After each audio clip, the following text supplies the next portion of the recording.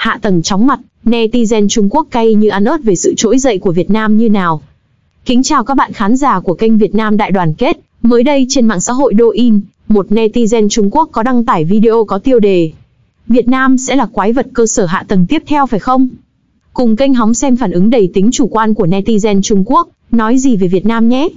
Hãy like nếu bạn thấy nội dung này có ích, đăng ký ủng hộ kênh nhé. Họ rất giống chúng ta 30 năm trước. Việt Nam là vị vua bền bỉ của Đông Nam Á. Cuối cùng họ cũng trở nên tốt hơn sau bao nhiêu năm, tôi hy vọng lần sau họ sẽ không trở thành một đống đổ nát. Việt Nam cũng đang tiến bộ. Tôi không biết một số người có phàn nàn.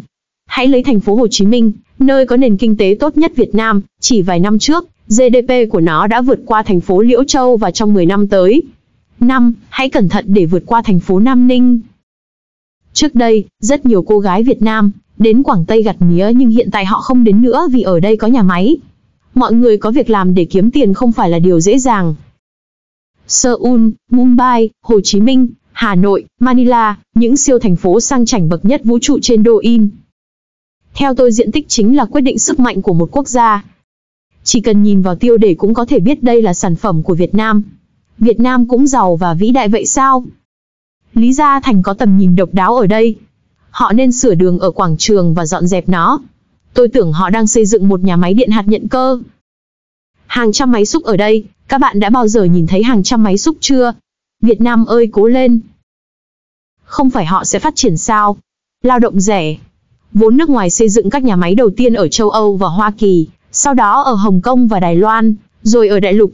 Bây giờ lao động ở Đại Lục cũng rất đắt đỏ. Thời gian để di chuyển đến những nơi rẻ hơn. Đông Nam Á sẽ trở nên đắt đỏ hơn trong tương lai, vì vậy chúng tôi có thể chuyển đến châu Phi. Việt Nam thật tuyệt vời. Cố lên, các bạn sẽ sớm bắt kịp quận lỵ của tôi. Tôi sắp sang Việt Nam mở công ty xây dựng. Họ chỉ có thể xếp sau Hàn Quốc. Việt Nam chỉ vậy thôi và quá nhỏ nên khó có công ty mạnh. Còn Samsung thì sao? Samsung là của Mỹ. Samsung bị Mỹ ép buộc phải cấy ghép trong hiệp định Hiroshima. Nếu Việt Nam muốn trở thành nước phát triển, thì phải có công nghệ như Nhật Bản, nhưng đó là điều không thể. Quả thực họ đang phát triển nhanh chóng, giống như Trung Quốc 20 năm trước. Ở đó thế nào rồi bạn? Có rất nhiều cơ hội nhưng chi phí đầu tư đã rất cao. Có quá nhiều người Trung Quốc đến đó. Bạn nghĩ con đường nào của họ được xây dựng tốt? Đường xá ở Việt Nam hiện nay được xây dựng rất tốt. Trước tiên hãy giải quyết vấn đề về điện. Đã. Xin chúc phước lành cho Việt Nam và chúc người dân Việt Nam ngày càng tốt đẹp hơn. Chúng ta sẽ không bỏ qua, nhưng với chiều sâu chiến lược và sức mạnh công nghiệp, nước nhỏ vẫn là nước nhỏ thôi. Làm thế nào để ngăn chặn họ bây giờ? Không cần phải ngăn chặn họ. Việc một quốc gia nhỏ trở thành trung tâm sản xuất của thế giới là điều không thể chỉ với một vài người thừa thớt. Tôi chỉ tò mò thôi, có phải nhà thiết kế và nhà thầu đến từ Việt Nam không? Hoặc Trung Quốc hoặc Nhật Bản thôi. Việt Nam có cơ sở hạ tầng không? Việt Nam không thể so sánh với Trung Quốc nhưng họ khá tốt về mọi mặt ở Đông Nam Á. Nếu bạn không cải thiện dự án sắt, tôi sẽ tin điều đó. Tôi chỉ yêu con gái Việt thôi, còn lại thì quên đi. Không đủ điện cơ bản nhất bị kẹt thôi. Khi đất nước ta đang trong thời kỳ đổi mới và phát triển bùng nổ, tình trạng mất điện cũng thường xuyên xảy ra. Đây có phải là sư tử phương Đông sắp thức tỉnh không? Ngành da bò Việt Nam số một thế giới. Mục đích của họ là hy vọng người dân Trung Quốc sẽ tin vào điều đó đúng không? Lưới điện và công nghệ phát điện là hai khái niệm khác nhau, và Việt Nam chắc chắn sẽ không trở thành điều họ mong muốn. Việt Nam có công nghệ nhiệt điện siêu tới hạn không? Việc xuất khẩu những công nghệ này bị cấm ra nước ngoài liệu Việt Nam có công nghệ truyền tải siêu cao thế được không? Bạn sẽ không nói Việt Nam không cần nó, phải không? Máy xúc có được sản xuất tại Trung Quốc đúng không? Việt Nam đã bỏ lỡ thời kỳ phát triển vàng son và giờ đang già đi rồi. Việt Nam có thể là quốc gia phát triển nhất châu Á trong 10 năm tới. Hãy tự tin ngay bây giờ. Đào kênh đào sẽ làm GDP Việt Nam giảm một nửa. Không, các bạn nói là chuyện 10 năm trước, nếu không thì tại sao toàn bộ dây chuyền công nghiệp lại về Việt Nam? Nếu quan tâm đến cảm xúc của Trung Quốc, bạn nên cho Trung Quốc biết thông tin khi xây dựng một công trình. Liệu có thể đuổi kịp Quảng Tây không? Nó đã đuổi kịp Quảng Tây được 2 đến 3 năm qua rồi. GDP của Việt Nam đã hơn 3.000 tỷ, trong khi Quảng Tây chỉ là 2,78 nghìn tỷ. GDP của Việt Nam đã vượt qua Quảng Tây, số lượng doanh nghiệp có vốn nước ngoài thậm chí còn vượt qua Quảng Tây. Đất nước 100 triệu dân có đánh bại được Quảng Tây không? Ngoài tổng GDP, thương mại xuất nhập khẩu và doanh thu du lịch quốc tế, Quảng Tây lấn át Việt Nam ở hầu hết các chỉ số khác. Việt Nam khó bắt chước Trung Quốc lắm. Việt Nam không có gì ngoài nguồn nhân lực. Nhưng Việt Nam có thể là quốc gia phát triển duy nhất ở châu Á. Đừng suy nghĩ nhiều, 50 năm nữa cũng không thể phát triển được đâu. Các ngành công nghiệp trụ cột của Việt Nam là gì? Hãy nhìn vào hiện trạng công xưởng của thế giới, toàn bộ dây chuyền công nghiệp đã về Việt Nam rồi. OEM sản xuất cấp thấp không thể trở thành nước phát triển được. Nhiều nguyên liệu thô vẫn đến từ Trung Quốc, bạn hiểu không? Quả thực người Việt Nam không nên đánh giá mình quá cao. Nó có thể được xác minh trong 10 năm, bạn có thể thấy được. Việt Nam thực sự có tiềm năng ở Đông Nam Á, vì có thể bắt chước hoàn toàn Trung Quốc, và một số chính sách có thể giảm thiểu để tránh nhiều rủi ro. Nếu chúng ta muốn gây sự với họ, Việt Nam không thể làm gì được. Chúng ta trách họ không biết điều gì tốt và điều gì lợi hơn. Tôi xin hỏi các đồng chí Quảng Tây, Quảng Đông có muốn về chung sống với Việt Nam không? Quảng Đông có thể không sang nhưng nhiều người Quảng Tây đã đi qua đó rồi. Thành thật mà nói, thành phố Hồ Chí Minh thực sự khá tốt. Vấn đề thiếu điện đã được giải quyết chưa bạn? Thời thế đã thay đổi, cách làm này không phù hợp với Việt Nam.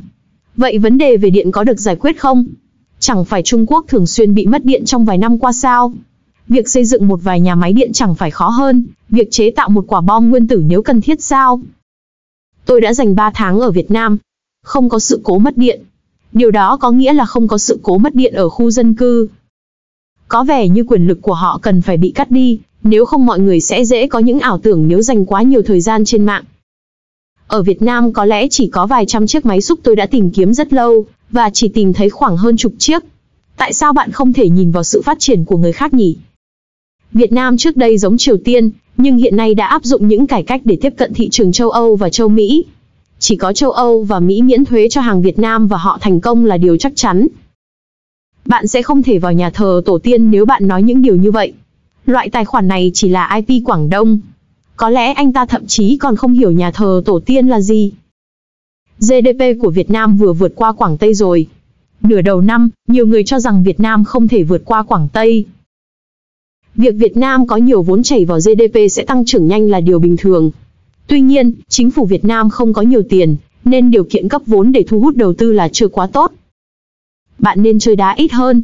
Năm ngoái, chúng ta bắt đầu khoe khoang rằng Việt Nam là công xưởng thế giới tiếp theo. Vậy Việt Nam đã vượt qua Quảng Tây. Tôi nhớ lúc đó có rất nhiều người hét lên rằng Việt Nam không còn hy vọng, không thể vượt qua Quảng Tây. Tôi còn không coi thường một chú chó chứ đừng nói đến một cường quốc quân sự khu vực, như Việt Nam. Nền kinh tế đang bùng nổ, hãy nhìn vào đất nước của họ đi. Kết luận về suy nghĩ của netizen Trung Quốc về Việt Nam qua các bình luận. Một số netizen nhận thấy sự tiến bộ rõ rệt của Việt Nam, so sánh với Trung Quốc ở giai đoạn phát triển cách đây vài thập kỷ. Nhiều bình luận thừa nhận Việt Nam đang xây dựng hạ tầng tốt, GDP vượt qua một số khu vực Trung Quốc như Quảng Tây. Có người ca ngợi Việt Nam là vua bền bỉ của Đông Nam Á, và là quốc gia đang vươn lên mạnh mẽ. Tuy nhiên, vẫn tồn tại ý kiến xem nhẹ Việt Nam do hạn chế về quy mô, tài nguyên và công nghệ, cho rằng Việt Nam khó so sánh với Trung Quốc hoặc các cường quốc lớn khác. Một bộ phận vẫn duy trì suy nghĩ thiển cận, áp đặt rằng Việt Nam khó có thể trở thành quốc gia phát triển. Họ thể hiện thái độ coi thường và hạ thấp tiềm năng của Việt Nam, dựa trên những điểm yếu hoặc so sánh phiến diện. Nhiều người nhận ra rằng dòng vốn đầu tư nước ngoài đang chuyển sang Việt Nam, khiến Trung Quốc dần mất lợi thế về lao động giá rẻ. Một số bình luận lo lắng Việt Nam sẽ trở thành đối thủ trong khu vực. Một số netizen Trung Quốc thể hiện sự lạc quan về tương lai của Việt Nam, tin rằng Việt Nam sẽ tiếp tục phát triển vượt bậc. Họ cũng mong muốn giao lưu, hợp tác với Việt Nam hoặc tìm kiếm cơ hội kinh doanh tại đây. Suy nghĩ của netizen Trung Quốc về Việt Nam có sự phân hóa rõ rệt. Trong khi một số người công nhận và tôn trọng sự phát triển của Việt Nam, một số khác vẫn giữ thái độ bảo thủ hoặc thiên kiến. Tuy nhiên, sự quan tâm và phản ứng từ cộng đồng mạng Trung Quốc cho thấy Việt Nam đang trở thành một nhân tố đáng chú ý trong khu vực Đông Nam Á.